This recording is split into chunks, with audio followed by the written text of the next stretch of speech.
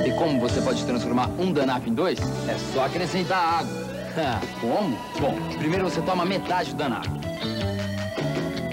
Tomou? Agora você toma outra metade. Aí você coloca na água. É só achar o rótulo premiado que você ganha outro Danap. E é fácil. Tem mais de um milhão de Danaps. Ah, vale também para Corpus Diet. Promoção Descolou. Achou, ganhou Danap. Escolhe o seu. Uh.